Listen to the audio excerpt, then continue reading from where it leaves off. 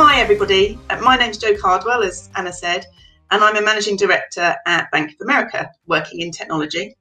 I'm really excited to be here today for the opening of Code First Girls Code Fest event and proud of Bank of America's long standing engagement with Code First Girls. I'm going to spend about 15 minutes talking to you, and I've got two key objectives. I want to help each and every one of you believe that you can succeed in a career in technology and that we as hiring managers need your skills.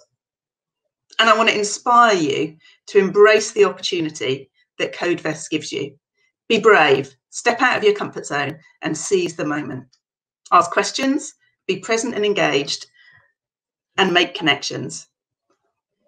So, who am I? And why am I qualified to talk to you today? Well, as I mentioned, I'm an, an, MD working in technology at Bank of America, and I've got a global team of just under 300 people. As Anna said, I've worked at the bank for 30 years, and yes, I am that old. Um, and I trained first in the Ministry of Defence and then in British Gas. So my entire career has been spent working in technology, initially as a developer and then gradually evolving into the role that I've got today. Like many of you, I didn't follow a traditional route into technology. I didn't go to university, and instead I left sixth form with A levels in maths, history, and German. Other than my maths A level, I have no educational qualifications in STEM subjects at all, um, not a single science GCSE to my name. So obviously not a traditional computer scientist. So I left college with a weird combination of A levels that didn't really qualify for me for anything, but I was desperate to get into work. My route into technology was not intentional. In those days, I'd never even seen a computer. Uh, we didn't have computers at college, nobody had them at home. So I didn't really have any idea um, what was involved. My parents were disappointed I wasn't going to uni, so they told me I had to get a job that needed my A levels. So I applied to the civil service um, to do accounting.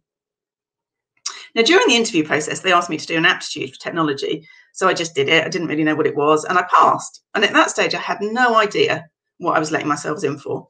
I had I enrolled in the Ministry of Defence, and I was based co-located with the Royal Army Pay Corps close to my home in Hampshire.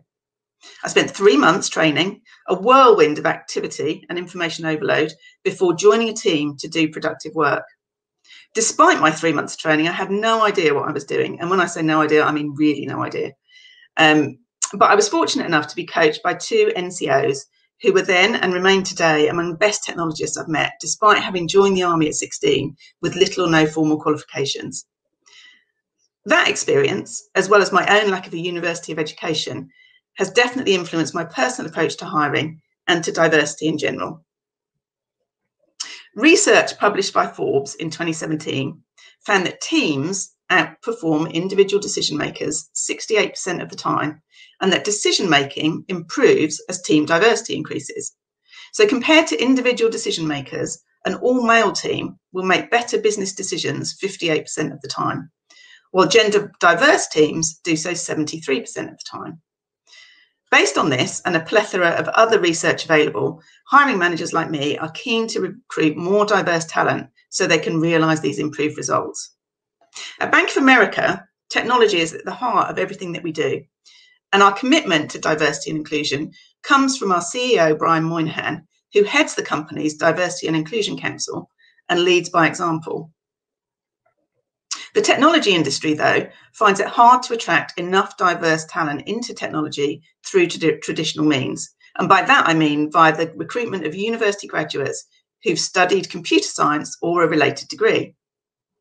Recent UCAS data shows that women make up just 13% of students studying computer science related courses in the UK. So that means we won't increase our diversity if we continue to rely only on the traditional methods of hiring. So when I hire junior talent, I'm looking for people with the potential to succeed in a career in technology, not proven experience or skills, but potential. So what attributes does that require? An analytical mind, intellectual curiosity, good communication skills, the ability to work as part of a team, to collaborate well with others. None of these are assets that only a computer science graduate possesses. However, historically, it would be difficult for candidates who hadn't attended university to demonstrate their potential or to find contacts who could give them advice and guidance on how to start a career in technology. Code First for Girls is helping to plug this gap by creating a diverse pipeline of talent for employers. They do this by giving all of you the opportunity to take structured training that lets you demonstrate your potential, as well as providing mentorship opportunities, giving guidance on how to start. Remember, the majority of instructors on the training courses provided by CFG and all of the mentors are experienced technologists working in the industry. That makes them great contacts for the future, as well as an invaluable source of advice. One of our lead instructors from Bank of America, Andrea Ionescu, has recently been nominated for the 2020 Women in Software Power List. You can catch Andrea tomorrow on the How to Max Your Impact workshop. I took this quote from CFG's website, which really I think sums up um, what it's all about. Code First Girls are dedicated to transforming tech by providing the skills, space, and inspiration for women to become kick ass developers and future leaders. You are those kick ass developers and future leaders that we are all looking for. So I want to share some of Bank of America's recent successes through our partnership with Code First Girls to emphasize just what's possible for each and every one of you. Each of the people I'm going to talk about have come through Code First Girls mentoring scheme, where members are mentored by women technologists at Bank of America. If you haven't participated yet, check it out. It's a great opportunity to build lasting relationships with experienced technology professionals. So I'm going to start with Haley. Haley Lee joined the bank in 2018 and is halfway through a degree apprenticeship. That means she works in a development team for 80% of her time and spends 20% of her time studying. Degree apprenticeships are fairly new in our industry, but are gaining momentum with more places offered each year. They're a great way to get into technology and definitely worth exploring. So at the end of four years, Haley will have a degree in computer science. Haley works as part of the robotics and process automation team in Bank of America and has recently given a presentation at the bank's DevCon conference on Can Robots Ever Be Human? Haley studied biochemistry at university, but wasn't sure that was where she saw her future. She signed up to some CFG courses and realised she had a passion for coding. She joined the CFG mentorship scheme and was encouraged to apply for a technology mentorship apprenticeship at Bank of America. Haley says CFG helped kickstart my career in technology by teaching me valuable skills and introducing me to other amazing women in technology. Tiffany, who you're going to talk to um, on the Future Stars career journey session tomorrow, joined the bank as a graduate working in the ESG department and is now in the final first year of the technology apprenticeship program. Tiffany said, before joining Bank of America, I didn't have an interest in working in technology because I thought it was not an option for me. I had no STEM background. However, through the bank's support of Code First Girls, the impossible became possible. I was inspired by the bank talent, CFG volunteers, and was supported every step of the way. I have forged the beginning of my career in technology, and an ambitious dream has materialized, something I believe would not have occurred without joining CFG. And Cleona, who's my final success story, studied an undergraduate degree in neuroscience, but knew she didn't want to pursue academia. She chanced on the Code First Girls mentorship program and applied. It ended up being exactly what she needed. She learned from each of her mentors about a career in tech, what she should be focusing on to improve, and how she could get experience in technology. She hadn't considered Bank of America before, but each of her mentors suggested she would be an ideal candidate for the summer internship program. So she applied and the rest is history. Cleona said it's my, Cleona said that um, her the women who mentored her, her uh, could see her potential and talent and put her forward for this great opportunity. It's a brilliant success story that shows the value in programs like this. It allowed someone like me, who's not the typical candidate for such an internship, to confidently thrive in a technology role.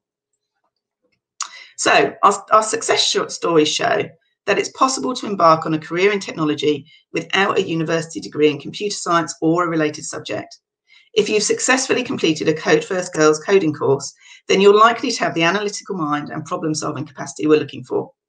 Remember, we're looking for potential, not real life experience or of doing the role. So, what's holding you back or preventing you taking that first step? Are you worried you're not smart enough? People won't take you seriously? Or is the risk of switching career paths just too scary? Trust me when I say there are times when everybody feels like that, regardless of their qualifications and their levels of experience. I want to leave you with one final story. It's not CFG related, but it's one that I hope will resonate with many of you. About 10 years ago, I had a brilliant executive assistant. She was super organized, great communication skills, was proactive, collaborative, really analytical. If you think about it, a good executive assistant or office manager needs all of these skills, especially if their boss is as disorganized as me. I felt she had enormous potential and I wanted her to consider a career in technology, but she was resistant. She just didn't believe she could do it and didn't have the confidence to take the leap. I continued to nag her and eventually we compromised. She didn't think she could be a coder, but she thought she might be able to do project management or business analysis. Fast track 10 years, and she's a senior program manager, leveraging, leveraging all those skills she built as an executive assistant, but delivering complex technology programs for a large financial company in Australia. Did you know that an HP report found that men will apply for a job if they only meet 60% of the qualifications, but women will only apply if they meet 100% of the qualifications? My executive assistant was a really good example of this and would probably never have taken the plunge without lots of encouragement. CodeFest, Girl, CodeFest will offer a, an array of options for you to explore, as well as a large number of participating companies and attendees, which will give you lots of opportunities to make new contacts. I really hope you take advantage of all that CodeFest offers and take the first steps to becoming the kick-ass developers and future leaders that CodeFirst Girls is striving to create and which we as hiring managers are looking for. Let CodeFest be your catalyst. Be brave, embrace the change, and launch your career in technology.